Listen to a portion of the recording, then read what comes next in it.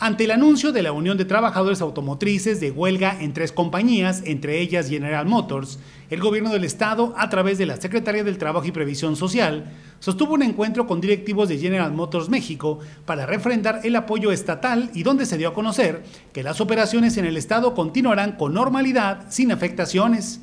El titular de la dependencia, Néstor Eduardo Garza, informó que se buscó un acercamiento con quienes dirigen la empresa ante la inquietud sobre el posible impacto en las operaciones de la planta de General Motors en San Luis. No está en riesgo, dada la situación actual, la producción de General Motors, planta San Luis Potosí, ni sus proveedores, aseguró Garza Álvarez tras el encuentro con los directivos, quienes confirmaron que las operaciones en San Luis Potosí continuarán con normalidad.